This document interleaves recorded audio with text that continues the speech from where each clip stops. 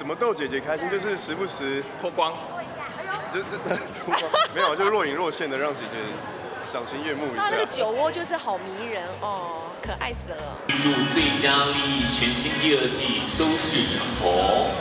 六位视线看这个挥手这一台，来格力再挥手，来来来来，漏了漏了，今天都算在里面的。处女座最爱假的，来，两位视线看向中间的摄影师。天心姐姐有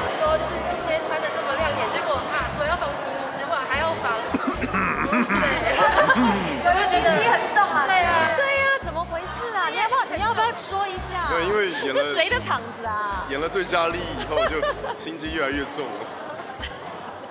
很棒，很棒。那这次在合作，就是呃，第一次跟你的小助理是新加入的角色合作上，会觉得很新鲜，这样，因为他好像是我每天上班的动力呀，一睁开眼说，哎呀，有好剧 可以看啊。他老腊肉还好是忘忘了小王了。对对对，已经是前夫了，还好还好，有新欢了，有新欢，然后每天上班都很开心，这样。因为何浩晨就逗姐姐开心。怎么逗姐姐开心？就是时不时脱光，这这 脱光没有，就若隐若现的让姐姐赏心悦目一下。他那个酒窝就是好迷人哦，可爱死了。但是姐姐称赞你还是要删，其实别人称赞我会很容易害羞，就越来越热，然后今天又穿那么多，我超想脱的啊，先不要了。台 妹的这个判决怎么看？心情非常的好，我觉得公理正义终于获得了伸张，然后鸡排妹被判有期徒刑四个月，所以现在就是一个前科犯的状态。One more, three, two, one. OK，谢谢。太不好意思你今天怎么会来这边啊？我来看画展，因为我平常本来就非常的喜欢看画展，像是我平常也很喜欢赏花、赏黑菊之类的，所以我今天就特别来看画展，就是一个文青。鸡排妹被判有期徒刑四个月，所以现在就是一个前科犯的状态。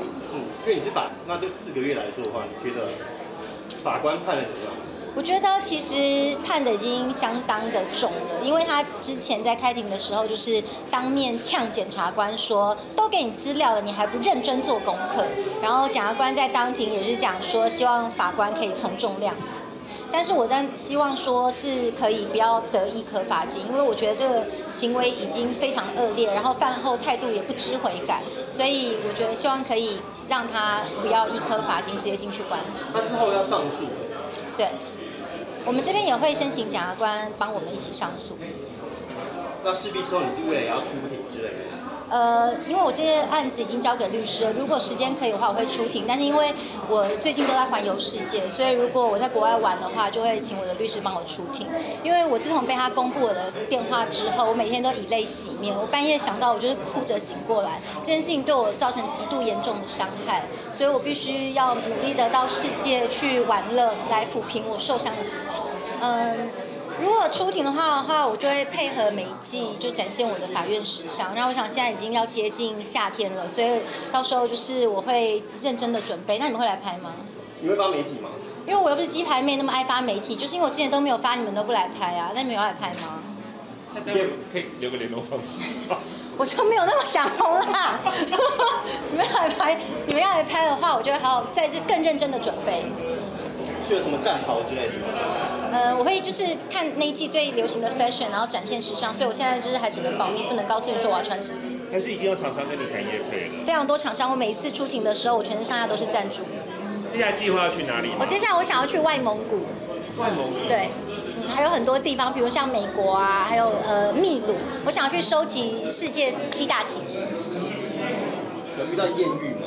呃，没有，而且我就是这次去冰岛玩，然后我还睡机场睡了两天，然后我想说会不会有什么航站情缘，结果航站情缘演的都是假的，旁边都是睡阿北，就是觉得说桃花运可能还没开，但因为我本身也不是那么在积极追求这一类东西的，不像鸡排妹讲，就是我多想要结婚，我不想，因为我本身就是财富自由，而且我是一个独立自主的新女性，我自己一个人可以过很好，我没有那么像她一样非嫁不可。